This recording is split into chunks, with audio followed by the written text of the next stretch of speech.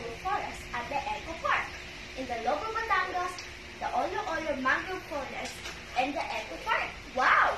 This 21 hectare mangrove forest is a place that limited fun adventures when you can enjoy nature the fullest. You can find different forests, animals, tall trees, mangroves, wild plants, wooden bridge, as well as mini parks, and two, to spend time with your family and animals too.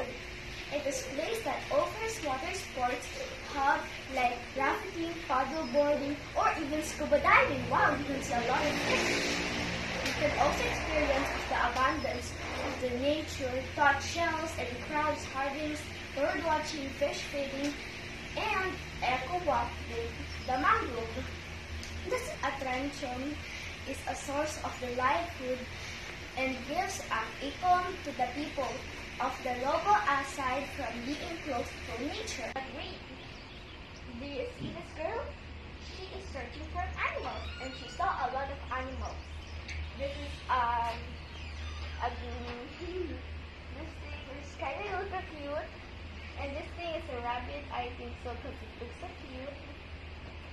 And you can see that what people walk and signature. So I hope you like my museum.